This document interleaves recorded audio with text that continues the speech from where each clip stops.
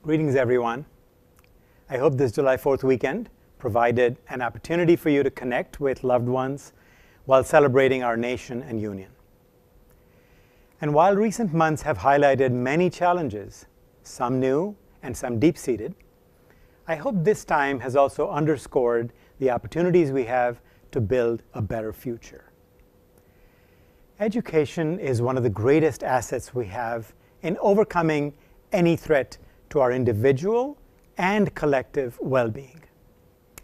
And this is one of the many reasons I'm so looking forward to our campus reopening in the fall.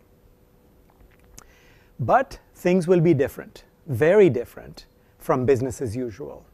Like other universities, businesses, cities, and states, UVM will be instituting a range of rules, guidelines, and protective measures to help keep our community safe, including a green and gold promise that contains standards for student behavior.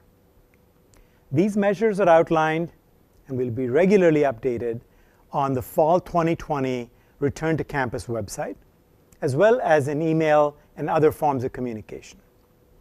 But the bottom line is that we will all need to modify our behavior.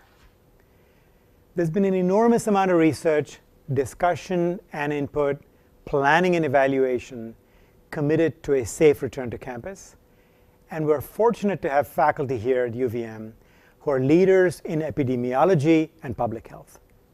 We have drawn on them and benefited from their research, experience, and good counsel. Based on this expert knowledge and on our partnership with the state and the city, I'm confident in our ability to safely reopen campus. But I know that many of our students and their families have ongoing concerns for very legitimate reasons.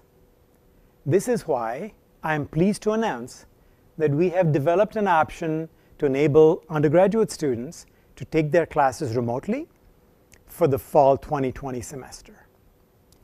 As a part of this option, students who choose the at-home offering will have access to three free of charge credits for summer 2021.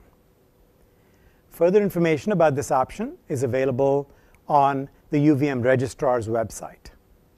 For those of you who elect to take the at-home option, please know that we will continue to provide the multiple opportunities for engagement and the academic and career support that make UVM so special.